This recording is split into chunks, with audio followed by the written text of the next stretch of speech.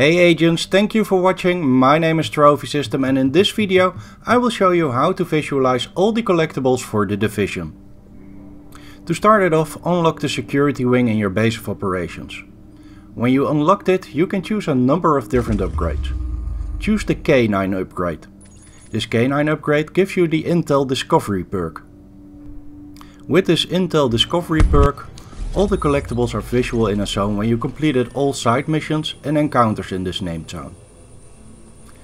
When you completed all side missions and encounters, the collectibles are shown as cyan blue dots as shown on this map.